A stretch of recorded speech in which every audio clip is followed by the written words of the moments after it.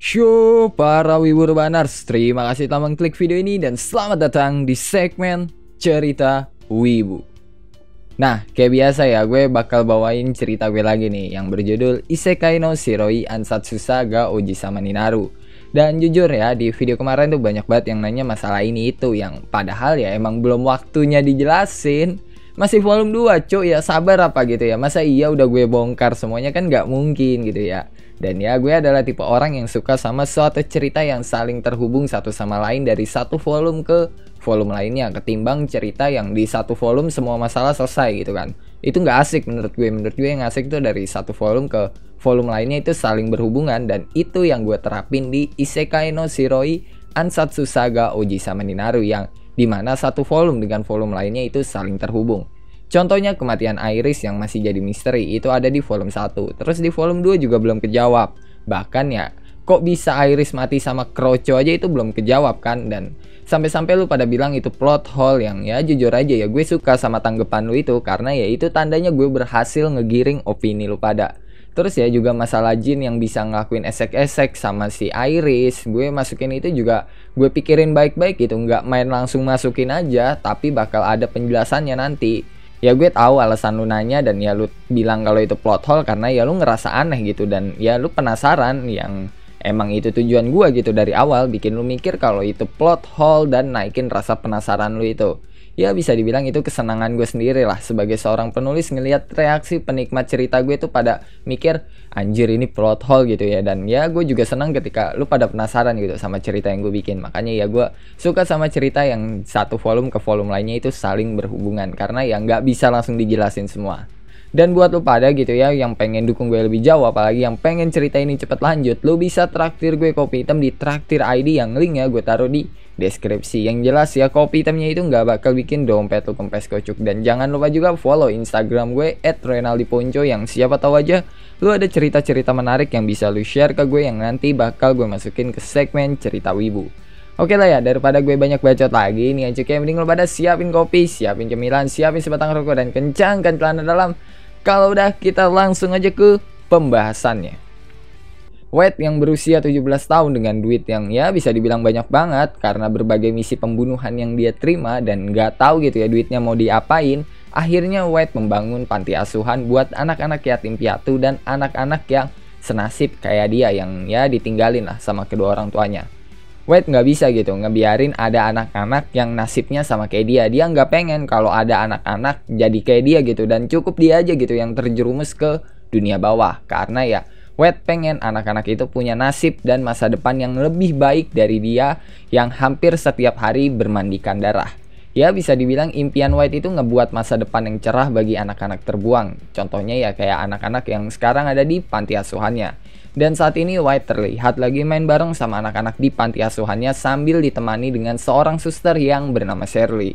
Hubungan White dan Shirley ya bukan hanya sebatas rekan kerja di panti asuhan, melainkan mereka itu udah pacaran. Tapi ya White merahasiakan identitasnya sebagai seorang assassin karena dia nggak pengen Shirley ikut terlibat dalam masalahnya. Dan White juga berterima kasih ke Shirley sama anak-anak di panti asuhan yang memberikan warna musim semi gitu lah di hidupnya yang berasa abu-abu karena ya tiap hari ngebunuh gitu itu, buah itu bagi White rasanya kayak abu-abu banget lah hidupnya. Setelah itu cerita berpindah lagi ke White yang udah bereinkarnasi jadi jin dan lagi menghadiri acara pemakaman Marshall yang dihadiri sama para bangsawan. Yang ya di situ jin itu acting dengan bah muka sedih-sedih gitu ya yang sampai dalam hati dia bilang anjing gue jijik banget harus acting begini. Ya gitulah apa yang dipikirin sama jin. Setelah selesai selama acara pemakaman, Jin dan Jenny pergi ke panti asuhan Jenny yang udah dipindahkan. Pas sampai sono, Jin disambut sama anak-anak panti asuhan yang semangat banget gitu ngelihat kedatangan Jin. Abis itu Jin nanya, gimana kabar anak-anak di panti? Yang dijawab sama mereka kalau kabar mereka baik. Setelah itu cerita berpindah lagi ke Arthur yang lagi ngobrol sama Ferdi, Rocky, dan Bernino yang di mana mereka itu lagi ngebahas soal kasus korupsi yang dilakuin sama salah satu bawahannya Arthur. Ferdi, Rocky, dan Bernino ngasih laporan dari hasil tracking mereka di jalur keuangan kerajaan. Ferdi melaporkan banyak panti asuhan dan orang-orang miskin yang hanya menerima dana bantuan kurang dari 50% dari yang seharusnya. Kalau Rocky dia melaporkan banyak yang aneh dari dana perbaikan fasilitas kerajaan, sedangkan Bernino dia melaporkan jalur pengeluaran uang dari beberapa keluarga bangsawan juga terlalu sedikit dari dana yang udah dikasih. Contohnya, dana yang dikasih itu 100 dari kerajaan, sedangkan yang dipakai sama para bangsawan itu cuma 50, yang membuktikan kalau ada cukup banyak bangsawan yang melakukan kasus korupsi.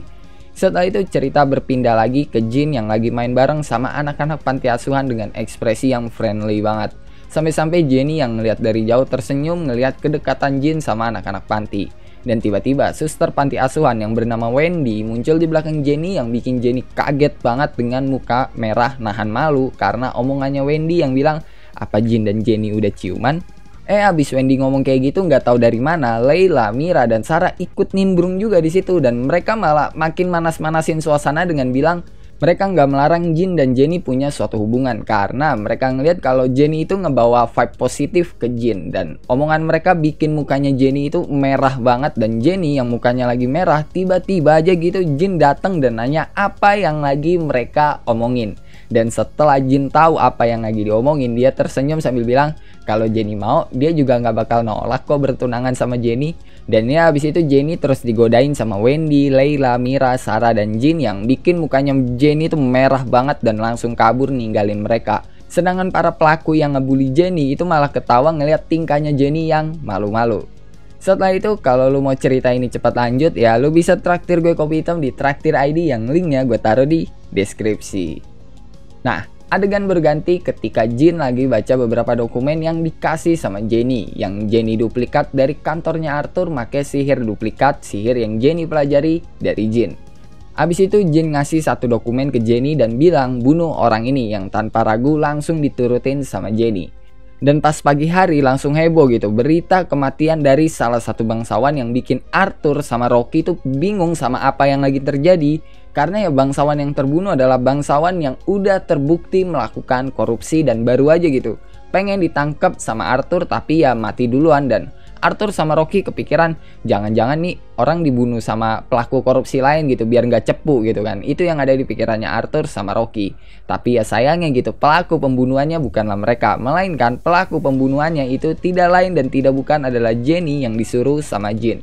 Dan saat ini kedua pelaku itu lagi ngomongin masalah lain. Ya mereka lagi ngomongin semacam obat yang ditemukan sama Jenny di rumah bangsawan yang jadi targetnya Jenny semalam. Tapi ya karena Jin belum bisa memastikan obat apa itu, dia memasukkan obat itu ke dalam Magic Cube biar nanti bisa dia teliti lebih jauh.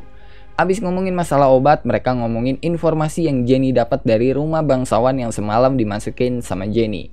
Informasi itu berupa beberapa data bangsawan yang melakukan korupsi dan bukti transaksi masalah obat yang tadi yang mulai beredar di kalangan bangsawan lewat transaksi gelap. Setelah itu cerita berpindah ke Jin yang lagi ada di depan makamnya Iris sambil membawa bunga. Jin bilang dia akan ngebongkar segala misteri yang ada dari kejadiannya Iris. Abis itu cerita berpindah lagi ke kilas balik atau flashback sewaktu Jin lagi belajar Magic Cube dari Iris.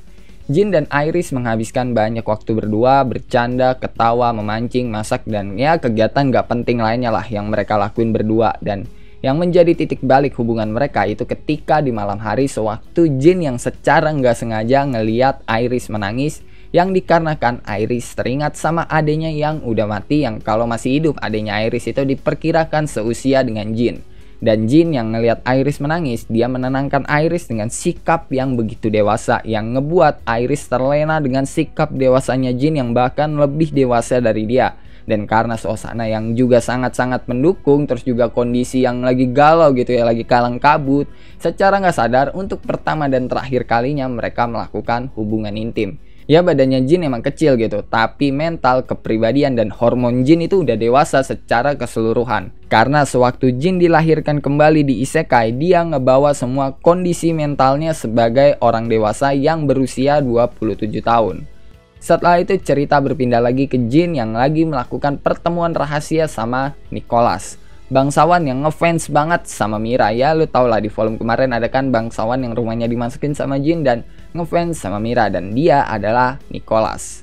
Jin pengen menanyakan beberapa pertanyaan ke Nicholas, terutama soal surat yang mengungkap identitasnya Marshall yang Jin temukan di rumahnya Nicholas. Dan Nicholas bisa setuju melakukan pertemuan dengan Jin. Pertama, karena beberapa menit yang lalu Jin masuk ke ruangannya tanpa babi bu langsung nodongin pisaunya ke lehernya Nicholas. Dan alasan kedua ya Jin bilang dia akan membantu Nicholas buat deket sama Mira kalau Nicholas mau jadi agen gandanya dia. Jin menanyakan banyak hal ke Nicholas. Pertanyaan pertama, kenapa suratnya Marshall itu bisa ada di ruangannya Nicholas yang dijawab sama Nicholas? Karena dia dan Marshall itu tergabung di satu organisasi yang sama dan surat yang kemarin adalah surat yang baru dikirim sama Marshall. Tapi pas Jin nanya nama organisasi itu apa, Nicholas bilang dia nggak bisa jawab pertanyaan seputar organisasi dan Jin pasti tahu alasannya.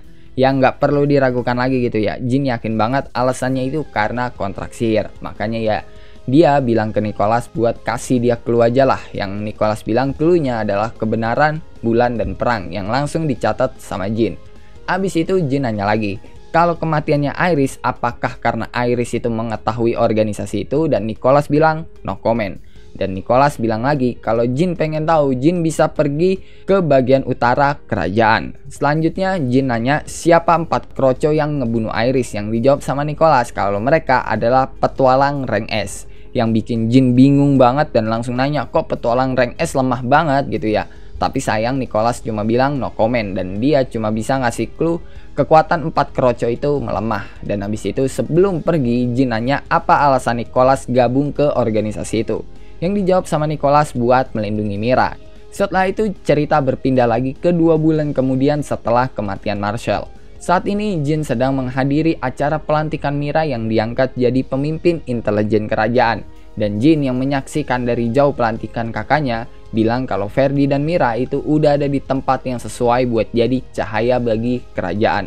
Ferdi udah jadi calon raja kerajaan Pendragon sedangkan Mira dia udah jadi pemimpin pasukan intelijen kerajaan. Makanya bagi Jin sekarang adalah waktu yang tepat buat ngebikin organisasi dunia bawah tujuannya buat mengatasi berbagai masalah dari balik bayangan sebelum masalah itu ngerembet ke mana-mana yang ngebuat masalah itu jadi suatu masalah yang gede banget dan setelah itu cerita berpindah ke seorang cewek yang berasal dari kalangan bawah yang lagi dibully sama kumpulan anak bangsawan dan tiba-tiba aja gitu.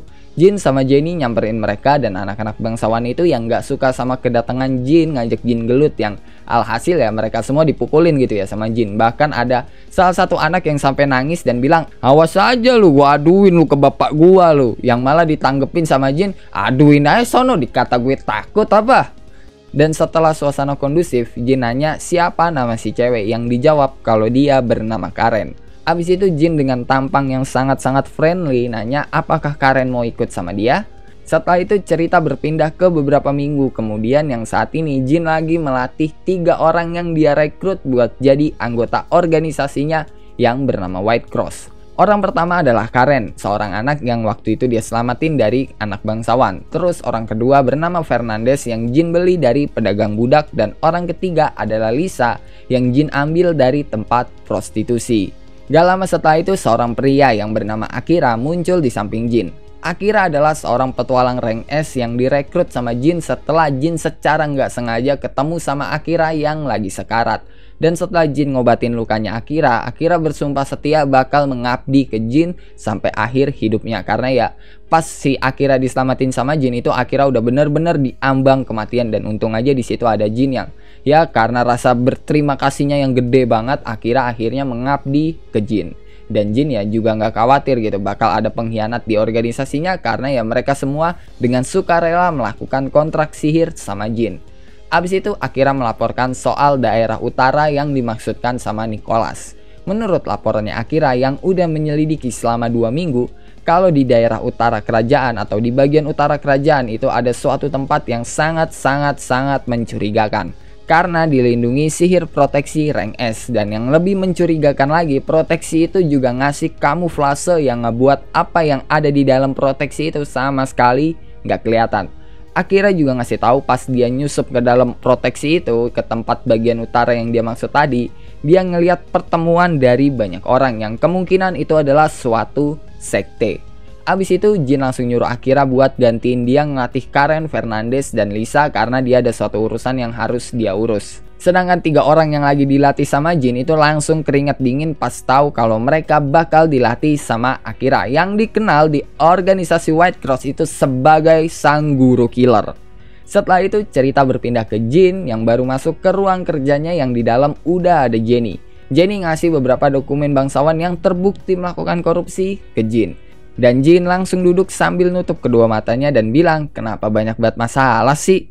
Dan cukup sampai di sini volume 3-nya.